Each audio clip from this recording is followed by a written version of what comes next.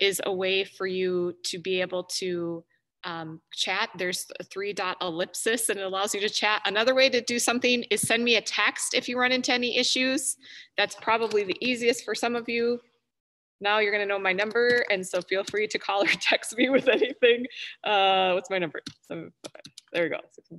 I think that's my number. Um, so I just put that through if you run into any issues or if you get kicked out or anything. Um, Oh, it looks like we are streaming now on YouTube Live. That is great. I don't know how that happened, but miracles happen every day. Um, so welcome everyone. It's so good to see you. Any questions or comments or anything that you have, um, please again, feel free to text me at 612-381-7573 or utilize the chat feature here via Zoom. Christian's gonna do this as a lecture style, but then he'll uh, uh, pause for some time for questions. If you have any uh, questions or things you want to jump in and participate, um, either just on um, send me a little chat to say, I have something, I'll unmute you, um, or you can send your, your question via text or in the chat to me or your comment or anything. Um, does that sound okay? If you're visual, give me a thumbs up if you're, if you can hear and it sounds okay. All right. Thanks for forbearing with us, everybody. Uh, it's really good to see you. Let's begin this time that we have together in prayer. God, we are so grateful for technology and that it can allow us, whether from virtual backgrounded beaches or cabins up north or our homes or apartments or uh, wherever we are, God, that we A, are gathered with you and we are gathered with one another. So God, continue to encourage and challenge us, challenge us this morning on how we might be your people and your church. And just thank you for everyone gathered and for Christian and for this time that we have. For it's in your name that we live and move and also get to spend time growing together. Amen. All right, Christian, take it away. Um, please, please turn off all your audio. Okay, am I going to be so am I looking at that camera? You can um, look at this one. Look at that one. If you either one, okay. they're both here for you. But you'll pick up the audio from that. Yep. All right. Okay. Hey everybody. Good to see everybody. Normally, I love to say I love to start out with like "Good morning," and then you guys give me a good morning back. But you know, I, oh, I can see a couple people giving me a good morning. All right, I appreciate that. You're in the spirit. Uh, so I'm going to share my screen here and we're going to get started together. Uh, let's see here. And we will start our slideshow. I think this will work. Lord willing. Yes, looks like it's going to work. Okay. All right. Well, it's good to see everybody. It's good to be able to be here with you. Um, man, uh, I, first of all, thank you for tuning in.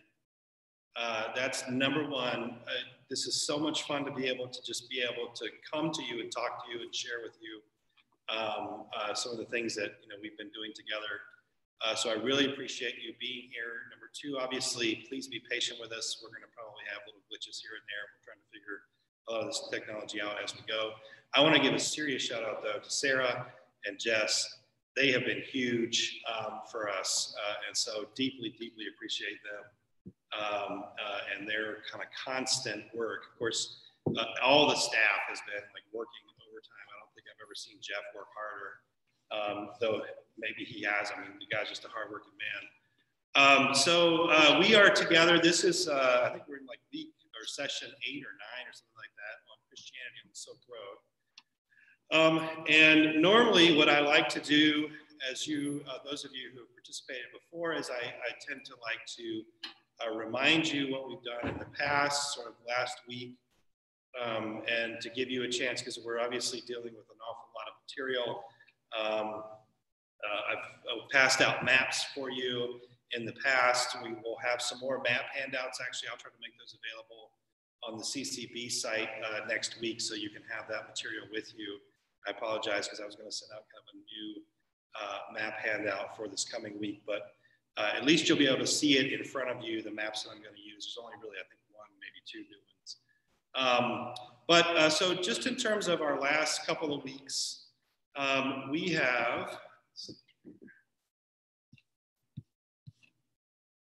here we go, all right. Uh, we have uh, been traveling along. So this is Christianity on the Silk Road, um, right? And the, the basic idea of this class um, is that uh, most people know, right, the gospel has been going, uh, the gospel starts out in Palestine and then it begins to travel uh, west effectively, right? Um, you know the stories about Paul and others, so it goes up into Europe. But before it does that, it goes down into Africa. Well, at the very same time uh, that it's going west, it's going east. We just haven't known about that story, I would say, particularly among Western Christians. I'm going to pause you. Oh, gotta pause, hold on. I'm going to try to fix the sound here. Give me one second um, to do that for y'all.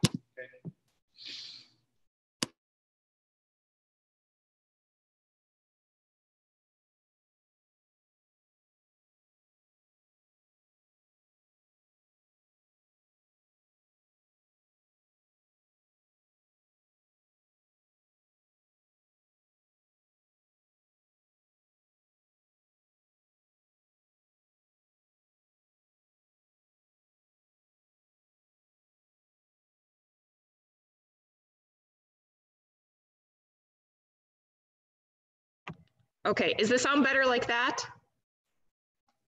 Is that, that sound sound better? Can you thumbs up if that's that better? better? Okay. Okay, we're gonna actually do that then. Uh, and now we will continue with this. There you go. Perfect. And then um, uh, from current slide. There you go. Boom. All right.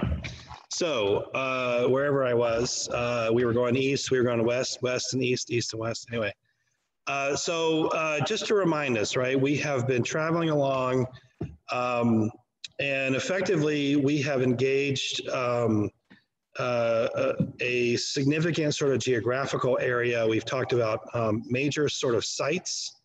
Uh, I introduced you to the towns of Edessa, Arbela, Nisibis, uh, eventually uh, Seleucia Ctesiphon. Then we talked about early figures, including Ephraim the Syrian, Aphrahat the Persian, among others. Um, and then I began to move us towards major events that wound up shaping um, this community and turning it into, um, uh, or, or, really events that led to it congealing and becoming um, a church with a discernible identity, which came to be called the Church of the East. A couple of those events were the Great Persecution that happened in the fourth century, which lasted about 40 years, or excuse me, 60 years or so, um, under the auspices of the Persian state um, with some certain uh, uh, input from powerful religious figures, Zoroastrian religious figures as well. And then in the fifth century, the church, uh, the Christians in this region began to come together, coalesced, created their own um, uh, kind of recognizable institution, declared the bishop at Seleucia Ctesiphon to be independent, um, in order in part to, I think, assure Persian authorities that uh, Christians may share the faith of others in the Roman Empire, but they're not necessarily disloyal citizens. Um, we then have done some pivoting. So the, the idea in most of those uh, sessions that we've had together is the coming together, um, the coalescing, the creation of a, of a, a new church community, uh, which begins basically in the beginning of the fifth century. By the end of the fifth century, that one church community has fractured, if you remember, into three church communities because of disagreements over um, uh, about about Jesus. Basically, it's uh, over the council the Council of Chalcedon and the Chalcedonian definition. So we talked through some of that stuff. I don't want to get too dragged down in those. Um, and then I told you basically that the seventh century was probably one of the most um, pivotal moments in terms of the story that we're talking about, and the tradition that we're interested in. Um, and what I meant by that, of course, was the fact that this is the century, the seventh century is when Christianity first makes its way up into China. We haven't told that story just yet. But the second uh, major issue is the rise of Islam and the ways in which that produced a new sort of set of challenges and a new kind of religious interlocutor that Christians were going to have to deal with. We spent some time talking uh, then. Now, I think we're kind of getting close now to uh, where we were. We spent some time talking about Christian responses, uh, early Christian responses to Islam, particularly in Greek and Syriac. Uh, last week, uh, there were two figures or two texts that we, or not last week, I guess two weeks ago, two figures that we had the opportunity to discuss. So the first was John of Damascus. Um, this is a figure who is actually very well known in the Western Greek speaking church, um, son of a, um, a, I think, sort of royal family uh, in the city of Damascus, winds up working in the royal treasury, working for um, the, the caliphate, um, spoke Arabic, um, eventually, under pressure, winds up leaving uh, to become a monk down in Palestine he writes um, uh, a very significant uh, uh, work on, um, I think it's on, on, the foundation of all knowledge or something like that. I can't remember actually the title, but there is a section, there's a middle section, if you remember, that was a refutation of heresies. And he, I think I told you that he, he catalogs 100 different heresies. The first 90 of them, he basically takes the work of another um, figure, a guy named Epiphanius, and just rewrites it, kind of just uh, in the we would call it plagiarism in the ancient world. They didn't. But then the last ten, his last ten engagements, um, uh, become important because this is the place where he's making his own contribution. One of those, the very last one, is the way that John interprets Islam, and he interprets it as a as a for as basically what he describes as a Christological heresy.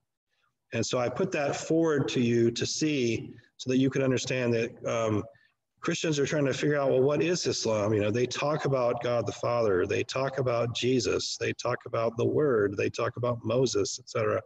What is this movement? Um, and so there are some early Christians who are wrestling with this question and they are willing to contemplate, well, these are not necessarily outsiders. They are more than, more than likely they are insiders gone awry. So that's kind of the way that John, John of Damascus talked about them. The second text that we discussed, um, and I even provided for you um, some material uh, to look at, uh, some quotes, was we kind of made a pivot. And so part of the part of what I wanted to um, offer for you to contemplate was the challenge um, that Christians would have been faced with during this time to articulate their faith in a language which by the time they start to use it has become saturated with um, uh, associations of another religious tradition. So what am I talking about? I'm talking about Arabic, right? So I talked about how Arabic um, as a language, it's a, it's a Semitic language. It certainly has a long history, but it doesn't really become codified in a sense until we get into the seventh century or so. Um, there's some evidence for just slightly earlier than that, but not much. Uh, so, but it's Christians who will start to write in Arabic to articulate their faith in the new context that they find themselves in. Um, and that really begins kind of in earnest in the 8th century, in the 700s. And the very first text that we have is an anonymous text called On the Threeness of the One God. And we discuss that text. Um, I, I try to draw attention to you uh, a number of areas. Obviously, the first thing to note, of course, is the title right? So this is a text that deals with the doctrine of the Trinity, and that is a area of uh, um, constant debate and disagreement between Christians and Muslims from the very beginning up to today. I would say all the way up to today, if you're going to have a discussion about what connects us and what divides us, some sort of discussion about the Trinity is probably going to come up. So, one of the things, though, that I thought was particularly unique that I wanted to draw your attention to were cer- certain phrases that the author uses. He draws out certain phrases, um, phraseological sort of um, idioms that come almost directly from the Quran. For instance, he talks about God and his word and his spirit. That is a phrasing that comes out of the Quran, and he will utilize that as a way to talk about the Trinity, the Christian theology of the Trinity. The other thing that this author does as well is he actually quotes from the Quran. So he shows a willingness to engage another sacred text and to um, see it as having some level of authority and authenticity so that he wants to utilize it in his attempt to defend a Christian theology of the Trinity uh, to others. Now, the last thing that I mentioned uh, a couple weeks ago is that that text was probably written um, primarily to encourage Christians who might have felt um, tempted to leave the faith and, and join the new faith that had come along, um, the, the, the, tradition of Islam. So um, they may have, it, the author may have been aiming to, to talk to Muslims, but more than likely he was trying to talk to other Christians and to show them uh, that their faith had integrity, etc. All right, so that's number one. Uh, and then the, the, the, yes, and so kind of fitting into this as well was also our discussion of the range of responses. Um, uh, I don't have listed up here on your screen, but I told you that one of the earliest real written responses that doesn't occur in the form of a letter is called the Apocalypse of Pseudo-Methodius, where Islam is interpreted in very, very negative light. So you got a you got a sense of the very negative, but then I also provided for you um, a different letter actually from the Archbishop of uh, or the, the Catholicos, the patriarch of Seleucia Ctesiphon, who talks about how um, he has found that the new Muslim leaders, not only do they not disparage Christianity, they actually show honor to it. They honor the churches, they honor the saints. So I just wanted you to see that there was a real wide range of response. Um, and I wanted you also to see the willingness to engage and even to utilize the Quran which would of course been, you know, from a Muslim perspective in an appropriate way, but for a Christian, uh, was understood to be to a certain extent appropriate. They wanted to draw from this other text to show that even it sort of witnessed to where they were uh, in terms of their theology of the Trinity. So let me stop there and see if Sarah has, if there are any questions. Sarah's going to kind of moder uh, moderate questions for me, and I'll do my best to answer those as necessary. So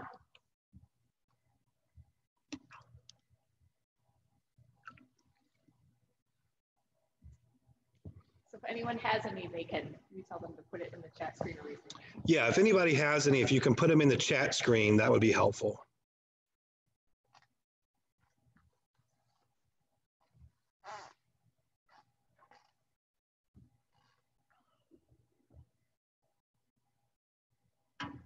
We doing? I don't see it. All right. Double check on YouTube she's double checking on YouTube, man. This, I'm telling you. Yep. You are, okay, all right. We'll come back to questions later. Okay. Okay, so uh, what I want to do next then is we're, what we're going to try to do today is we're going to complete our discussion of Christian Christianity under Islam, uh, certainly in this early period, um, as sort of a direct topic that we're engaging. And I want to wrap, wrap up our talk by talking about two figures. Uh, one man uh, uh, whom I've mentioned before, Timothy of Baghdad, and then another that I don't think I've mentioned at all, Theodore Abu Qurrah. And I'll just make some comments about Theodore. He's kind of the lesser of the two figures. Um, but the first one really is the one that I think I've talked about before um, with a certain amount of, um, let's see here. Okay, so, uh, so Timothy of Baghdad. So this is probably a figure I would assume prior to this class you probably have not heard of. Um, he is uh, one of the greatest of the patriarchs of the Church of the East. So he belongs uh, to the Church of the East, that tradition um, that we've been describing uh, since the uh, late fifth century. Um, by the time he becomes patriarch, uh, the, uh, the, the, the center of the church has moved from the town of Seleucia Ctesiphon to the newly founded city of Baghdad.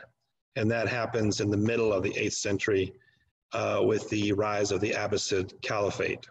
Uh, before that, the Caliphate had centered itself in Damascus, and Timothy or his predecessors would have been in a different place.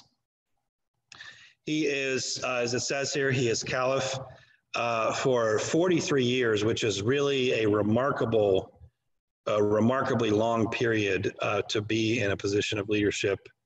Um, and this, as you can see, it's under five different caliphs, so under five different political rulers. So even though, in a sense, the caliphs have more authority, that's uh, for sure, certainly politically, um, Timothy is going to have uh, provide more stability for his community uh, having that kind of duration. Um, what can we say about his early life? Not a ton. Um, uh, if you remember, he's born uh, around the, the, the, city of Arbela. Um, Arbela is, uh, would be located in modern day Iraq um, near the, I believe it's the Euphrates River. I can't remember exactly, but um, but this was one of the three major centers that I talked about early on uh, for uh, the church. Um, Edessa, Arbela, and Nisibis were the first three uh, significant ones. He is uh, educated at one of the most important uh, uh, places to be educated at the time, Sapsapa, which is um, was an educational center that the early Church of the East would have supported, becomes bishop in an area around the modern city of Mosul. You've probably heard of Mosul. I would think maybe in the news, we've heard some of that, uh, the name of that place from time to time, um, uh, particularly during the Iraq War. And uh, while he is functioning as uh, the bishop there, he wins over the respect of the Muslim governor there. And there's some indication that they were able to have a very cooperative and good relationship. So, uh, how is it then that he becomes? What are some things that we can say? Uh, uh, how is it that he becomes patriarch? Well, in 778, uh, the current patriarch, the one that will precede him, uh, Hananisho II, he is going to die. Um, and uh, one of the things that uh, most of the scholarship that I've been able to read indicates is, is that at this point in time, uh, the Church of the East, and in particular, uh, the hierarchy is suffering from quite a bit of corruption. Um, and so people are bribing uh, people to have access to church positions. Eventually, now in the Western Church, this comes to be called simony. And so we, it probably would be the same thing uh, now, but that's definitely what's going on uh, during this point in time. Uh, and this is not an issue eventually, by the way, that goes away. It will stick around, even though Timothy himself, himself tries to change this. Um, so Timothy knows that uh, you have to you, you have to grease the right palm, so to speak, to make things work. He kind of understands that uh, that this is the situation he's in, and uh, but he himself is not inclined. He, he wants to he wants to clean this up, but he's got to get into the position of authority to be able to clean this up. So he actually um, he actually employs what we might think are unsavory tactics to uh, win over some key people who he needs to vote for him. And what I mean is that he sends to several key bishops large, heavy bags presumably filled with money, right? They're supposed to go to these other bishops, and he, but he tells them, wait until after the vote, and then um, I want you to open up these bags. Now, as it turns out, um, they are not filled with gold, they are actually filled with rocks. so uh, later on, instead of opening the bags and finding all this gold that they thought that they were going to get because he was bribing them, what they actually find are rocks. And uh, we have sort of a quote from him in one of his letters, someone writing to complain that, you know, he'd swindled them. He says, well, the priesthood is not to be sold for money. So he's willing effectively to utilize that situation. Uh, and again, we may have some questions about that, but such as it was. Um, his, uh, his election, even that, of course, doesn't seal um, his his you know doesn't make certain that he's going to become uh, the uh, the new Catholicos. He actually has to eventually win over another major figure, um, Isa ibn uh, Kuryash. I believe that's the correct um, pronunciation. This was the personal physician of the Caliph, who was himself a Christian. I think I mentioned to you when I talked about um, Christian existence under Islam Christians actually did populate a number of very significant um, professions, one of which was medical professions. There were many, many Christians and many Jews actually who were doctors, and it was thought of as a great sort of sign of um, honor if you were a caliph and you had a Christian doctor, and that was the case here. So he was able to convince Isa uh, ibn Kurash um, uh, of his, you know, uh, um, good intentions and of the fact that he would be a good leader. And because of that, it led eventually to him being elected uh, as the bishop. So, what can we say about him? There's a few things we can say about him as bishop. Um, and I have sort of uh, basically, I think, five things I want to point out to you um, to as so that you kind of can consider uh, or understand why he's so highly um, uh, celebrated.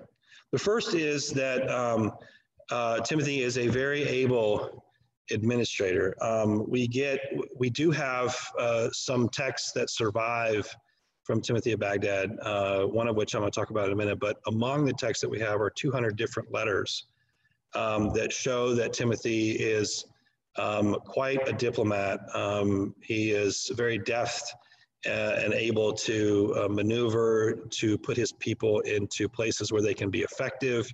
He works with other political entities to gain favor so that people can have safe passage. Um, all those kinds of things are kind of going on in his letters. And you, what you see is someone who, this is why he was able to be so successful over his 43 years, is that he knew how to do his job in terms of administration. The second thing that I think is really important, and this is going to become important for us too, because we're going to pivot eventually to talk about the mission into China, which begins before Timothy, but he himself remains with. And that is that he definitely is a missionary minded uh, patriarch. Now, that I, I hope that that's not of too much surprise to you, because we have, I have mentioned to you that mission is central to the identity of the Church of the East. And uh, particularly if we look at um, the amount of land that this church is able to uh, traverse in its uh, attempt to spread the gospel, uh, it dwarfs most other attempts prior to the modern age. Um, and I think that's something that uh, has quite a bit to teach us. So, what are some things that we can say? There's a couple. So, one is we, in Timothy's letters, we see him uh, uh, corresponding with churches in Tibet, uh, churches in Yemen, right, in, in southern, uh, on, the, on the southern coast of Arabia, and in northern Iran, where he is uh, appointing bishops to oversee those churches and communities and trying to attend uh, to their needs. Um, he also uh, is going to send uh, um, a bishop, and this is one of the interesting things you're going to hear about later too when we talk particularly about the Mongolian Christianity among the Mongols, um, is that um, many bishops actually wind up having to be traveling bishops. Um, and they, they actually, there's actually a, um, a different category. So there's, there's a stationary bishop who would normally have oversight of a single geographical region. But then there is what comes to be called the missionary bishop, who basically has authority wherever they are. And the reason that they have to develop this is not just because of their mission work, but because many of the people that these Christians are doing ministry for are nomadic. They're kind of wandering around. So, as I say here, there's a Turkic king, and the, the Turkic peoples are in Central Asia who requests a bishop who would travel with his people. And we have evidence that, the, that these bishops not only travel with the people, but they actually have movable sanctuaries that they travel with so that they can hold a divine liturgy um, as they move around. So very, very creative ways of trying to, to be church in those days.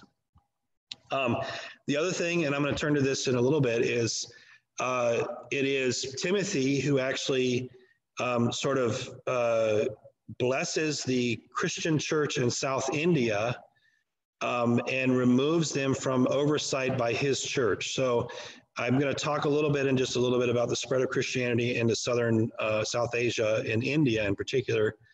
Um, and I'm going to note that for a little while they had they were being overseen by Persian authorities. Well, it's Timothy that removes that and blesses them to become their own autonomous church.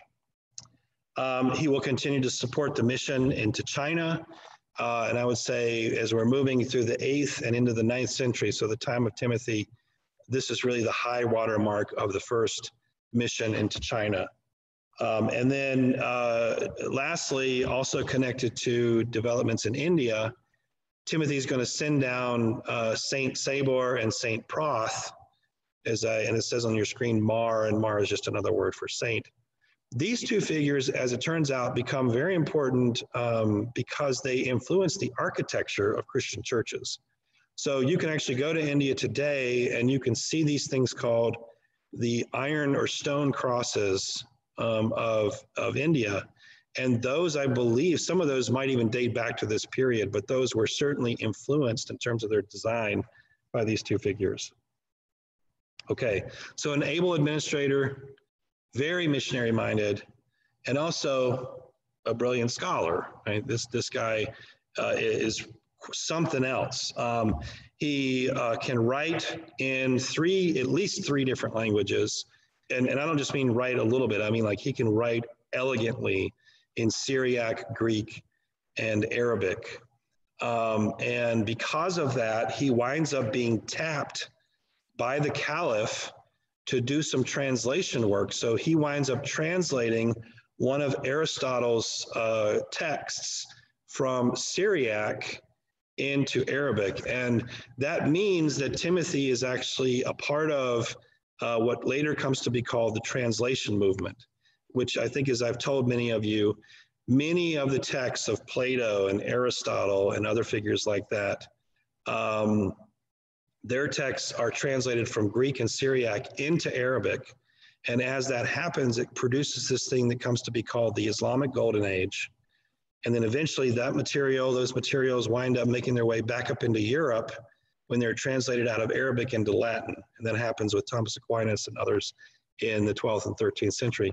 Well, Timothy's at the beginning of this whole process. Um, and uh, because of his own grasp uh, of the language. So let me let me stop there for just a second and see um, if I've got some questions here. Do you have any questions?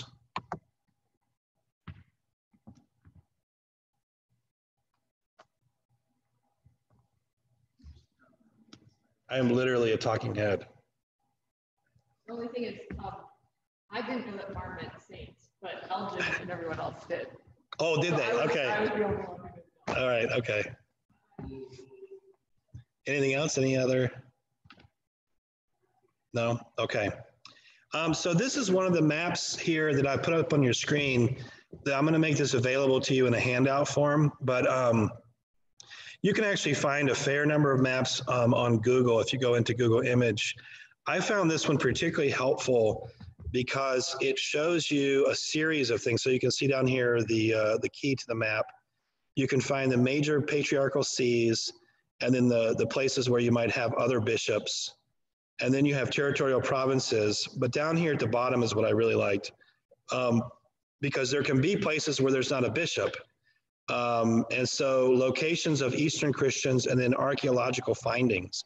So if you look here on the coast of China, you can see on the eastern coast of China, right, archaeological findings on the South China coast. Um, Christian communities down in Canton, down here, Hunan, right? Um, certainly you have major Christian presences up here in the north, and that's a story eventually that we're going to tell. But this, I think, just gives you an idea. This is this is a map that's probably talking about the spread of the church, maybe a generation or two after Timothy has passed on. But even by Timothy's time, this is probably the region over which, uh, much of which he is um, having to exert some level of authority. So you can kind of just see the reach of this tradition, and it's just very, very impressive. Let's see, are there any questions on this map?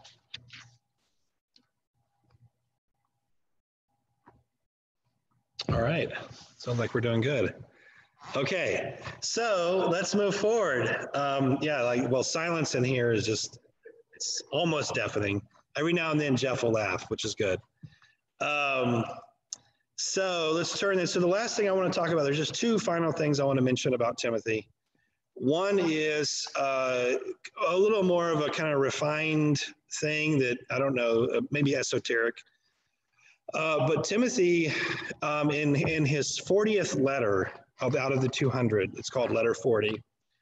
Um, he is seen in this letter. He sort of um, he recounts a debate that he has with a Muslim cleric, a Muslim scholar, and in this discussion that he has with the Muslim scholar, he explains the use of Aristotelian logic for the basis of an argument. And there are a number of scholars who have argued that Timothy's discussion here in letter 40 actually makes a contribution to later forms of Islamic theology. That eventually Islam is going to take up um, Aristotelian logic, Aristotelian uh, rhetoric, etc., as it develops what it comes to call kalam. Kalam is a way of talking about Islamic theology. And so it's just very fascinating to think about the fact or the possibility that uh, a, there's a Christian who makes a constructive contribution to later discourse uh, in Islam. And that's in, uh, as I so uh, tell you in a, a letter for. Yeah, question. I have a question from, um, our, uh, oh, from the necklace. What does sees mean? What does Sees mean? sees? S. Oh, oh, oh. Uh, those refer to the seat. It's literally uh, a shorthand for seat or throne, right? So the patriarchal seat, C, is a way of talking about their location of authority and then the geographical region that they would have uh, say over. Is that helpful? Okay. Other questions? This is great. I love getting questions. I'll tell you. Anything? Okay. All right. Okay. So that's the, there's four things that I've talked through. The very last one, which is the one that I think is probably the most uh, kind of interesting one in some ways, is the fact that Timothy, um, relatively early on in his um, uh, role as patriarch, is invited into a two day debate with the Caliph Al Mahdi, which happens either in 781 or 782. So, and there are going to be a couple of opportunities, I think, as we move through our time together, where I can tell you about some interreligious debates that actually happened in the ancient world. And they were very rare, uh, but when they so when they do happen, it's worth your while to kind of take notice. Uh, yeah, looks like I got a hand up here again. We having issues with volume?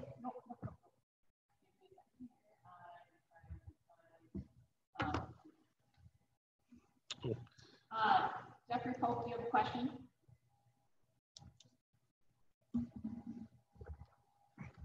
I muted you. Oh, wait, you muted yourself. Wait, give me a second. Wait, wait, wait, wait. Um, Jeff, just a second, give me a second. You and I, I think are ready with each other about how to mute you. Um, can you- can you share your screen? Do you want to- Jeff Pope? Jeff, wait a second. It's a little more difficult. Let me see here. I don't think I can. I don't think I can. Can you hear me now, Sarah? Yeah. Our, our screens are telling us you have muted us and we can't unmute ourselves. That's why you're not hearing anything. Oh, that's, they're back. They, Go ahead, Jeff. Did you have a question? No, I'm just trying to let you know why you're not hearing anything. You can chat a question. Our mic is on. Elgin's got a question. No, you can chat a question. Oh, yeah, that's, that would be better, I think, if you chatted a question. We're all doing, Okay. All right, so let's go, let's, let me kind of move us forward. Um, so basically,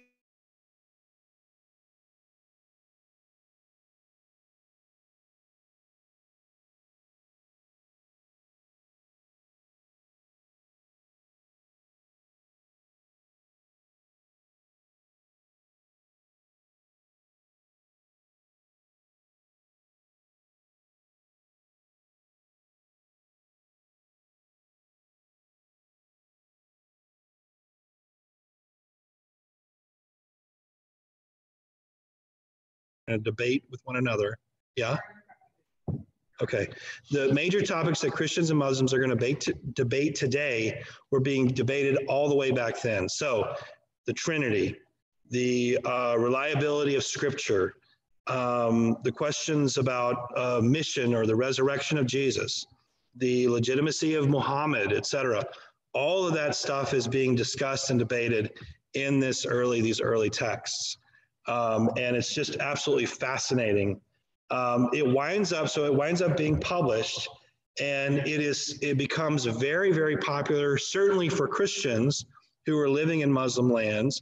But from what scholars are saying, it also becomes popular among Muslims, in part because uh, Muslims feel like the way that Timothy writes everything, he does justice to their position. So they sort of feel like they're actually being heard, and there's a kind of interesting back and forth uh, that goes on. So as, as I've listed here, uh, several uh, of the topics that are discussed, the doctrine of the Trinity, incarnation, status of Muhammad, integrity of Christian scripture, certain Christian practices, etc.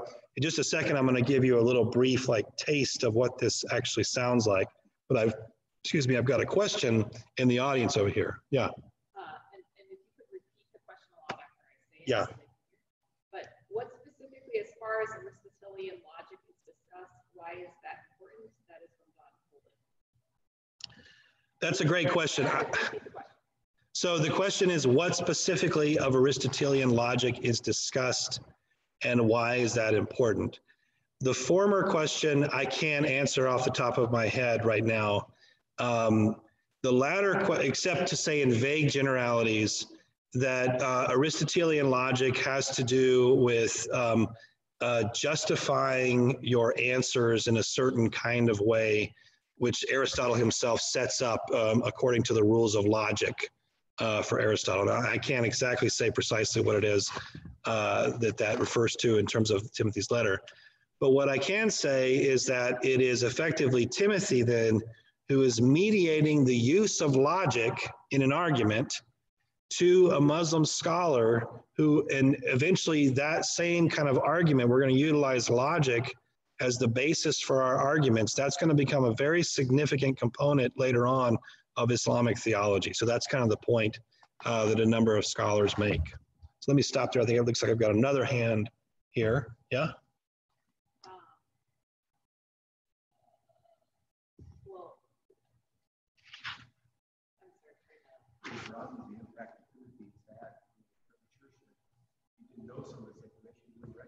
Right. That's right. I was just going to note that I think it's interesting, that's interesting given how then it's, um, it's in the Muslim world where as we get to the time of Aquinas in the 12th century, how then it's, um, it's this thread of Aristotelian logic gets both internalized and interpreted inside of Islam and gets brought back to the West. And, and in the new um, Catholic scholastic movement in the 12th century, Right. so just to say, it's interesting that the Aristotelian goes into Islam and then it, it ends up being translated and tra- traverses back to influence the Dark Ages in the West. Yeah, yeah. So, so Sarah was making the point that she thought it was interesting that um, it is uh, the way that Aristotle, in a sense, travels, uh, because w- we might think about Aristotle as as part of the inheritance of the West. What we mean by West, of course, is an open question, but it's pretty clear when we look historically that first Aristotle goes east, right? His the texts of Aristotle, the ones that become important eventually say, for instance, in Latin speaking uh, Christianity in, say, Europe, has to go through Arabic translations and Arabic commentary. And then eventually that's going to make its way back as it's going to be translated out of Arabic into Latin for people like Aquinas and others when logic is going to become at the very center of the way that they uh, do their theology, um, making a logical argument um, is going to become very, very important for um, Western uh, Catholic thinking in the 13th and 14th century. That's right. So uh, without, without, uh, unfortunately, I, I don't have much more to offer to you in terms of that right now. Um, let me though give you a little taste here. Uh, this is a passage from the the uh, dialogue and the debate between uh, Timothy and Al Mahdi, and I'll just read the text out here. Our gracious and wise king said to me, What do you say about Muhammad? And I replied to his majesty, Muhammad is worthy of all praise by all reasonable people, O my sovereign. He walked in the path of the prophets and trod in the track of the lovers of God. All the prophets taught the doctrine of the one God, and since Muhammad taught the doctrine of the unity of God, he walked therefore in the path of the prophets. Further, all the prophets drove men away from bad works and brought them nearer to good works. And since Muhammad drove his people away from bad works and brought them nearer to good works, he walked therefore in the path of the prophets. Finally, Muhammad taught about God, his word, and his spirit and since all the prophets had prophesied about God, his word, and his spirit, Muhammad walked therefore in the path of all the prophets. And our king said to me, You should therefore accept the words of the prophet. And I replied to his gracious majesty, Which words of our gracious victorious king, which words of his our gracious or victorious king believes that I must accept? And our king said to me, that God is one and that there is no other besides him. And I replied, This belief in one God, O my sovereign, I have learned from the Torah, from the prophets, and from the gospel. I stand by it and shall die in it. And our victorious king said to me, You believe in one God, as you said, but one in three. And I answered his sentence, I do not deny that I believe in one God in three, and three in one, but not in three different Godheads. However, but in the persons of God's word and his spirit. So I want to stop there just for a second. There is so much rich and interesting stuff going on uh, just in this passage. One thing is the sort of graciousness with which and the ability of Timothy to see in Muhammad and in the tradition that Muhammad gives birth to that there are areas of over, overlap with his Christian faith and certainly with his Jewish faith. One of those is Muhammad's um, critique of polytheism and paganism. So that's what he's referring to when he says that he taught the unity of God, that there was one God and not a bunch of others. The other is the intense commitment to doing good works, right? Care for the poor, those kinds of things. This is another place where Timothy sees overlap. The last thing that we see in this first paragraph is Timothy sneaking in a, uh, and this is a, an argument that we find in a bunch of other Christian authors, but he's sneaking in the idea that Muhammad also taught about the Trinity, because the passage says Muhammad taught about God, His Word, and His Spirit, and that's a that's a trend that for for not for Muhammad and not for Islam, but for Timothy and Christian writers using Arabic, that is an attempt to appropriate some of the language out of the Quran to make an argument that even the Quran, maybe perhaps despite itself, still witnesses to a triune God. So this is Timothy sort of pushing back. So we have both dialogue and dispute going on. And then you see the same thing happening in the second paragraph where he says, Of course, I believe in only one God. And the king says, Well, wait, but you say you believe one and three. He's like, Yes, I believe in one and three, but that doesn't mean I believe in three gods. So if you read through some of this, uh, and I've, I made available this, this primary source, or at least excerpts of it for you, I could also repost it again. I think you will find it absolutely fascinating, in part, not just because of the content, but just the modeling that we get from Timothy about how to interact with our interreligious neighbors, people who have other belief systems. Maybe they don't even have a belief system, but are there ways that we can be gracious and open and kind of welcoming of others? So let me stop there. I think I've got a question or two. Yeah. Um, so I, am going to throw two at you and you take whatever you want. So it sounds like I have two questions. Um, was the view of the Trinity settled? What was it? Like at this time, um, is the view of the Trinity different in the West versus East?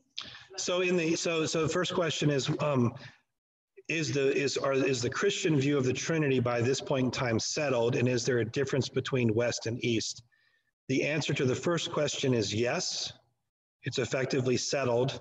Uh, the Council of Nicaea and Constantinople happened in 325 and 381, which is about three or 400 years prior to this event.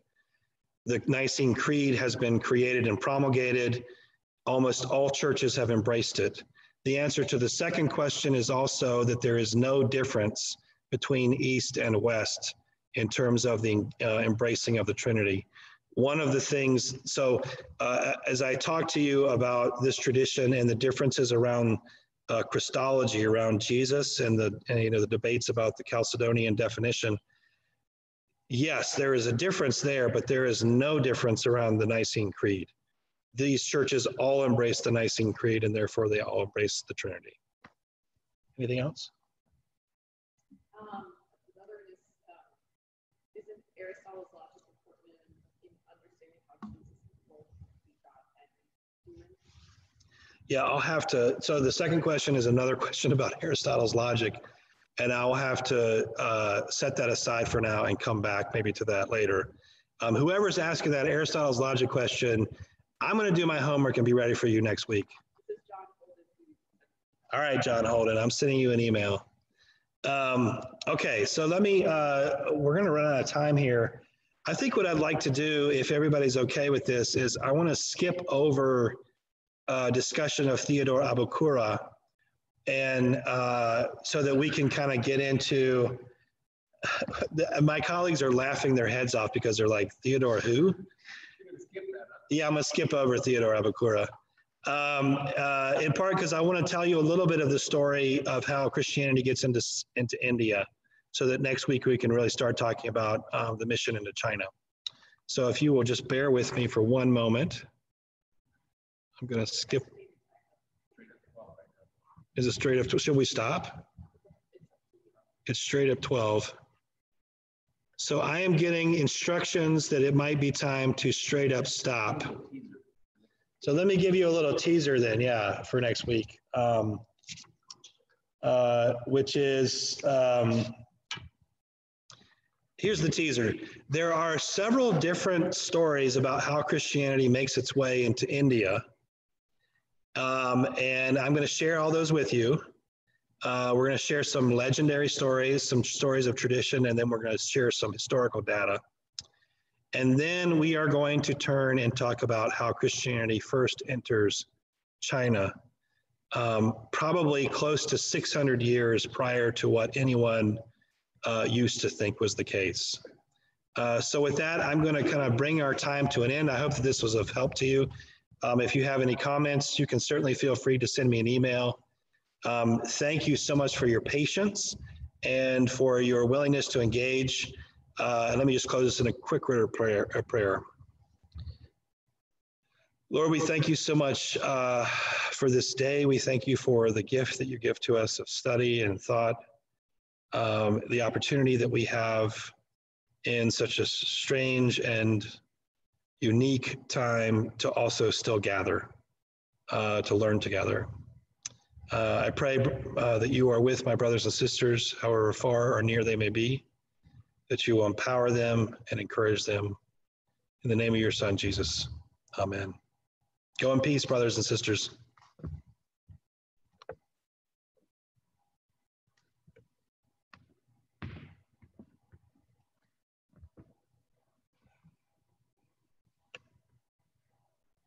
That was great. Jeff was texting.